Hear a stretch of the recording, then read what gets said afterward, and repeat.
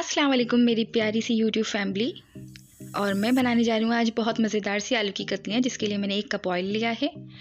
एक अदद मैंने मीडियम साइज़ की प्याज ली है और चार से पाँच अदद मैंने कड़ी पत्ते लिए हैं। और एक चम्मच के करीब मैंने ज़ीरा डाला है इसके अंदर। अब मैं इस प्याज को फ्राई करूँगी। यहाँ पर मैंने एक चम्मच हल्दी भी डाली थी इसके अंदर।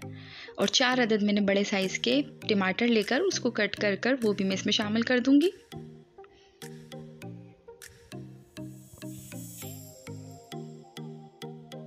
एक खाने का चम्मच मैंने लाल कुटी हुई मिर्च डाली है इसके अंदर। और एक खाने का चम्मच मैं इसमें हसब ज़रूरत नमक डालूँगी, यानी कि टेस्ट के हिसाब से। अब मसाला हमारा बहुत अच्छे से भुन चुका है।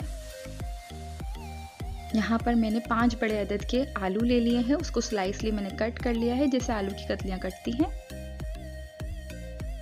और वो सब इसमें मैंने शामिल कर दी है। मैं मसाले को बहुत अच्छे से भूनूँगी ताकि ये हमारी आलू की कतलियों में कोड हो सके।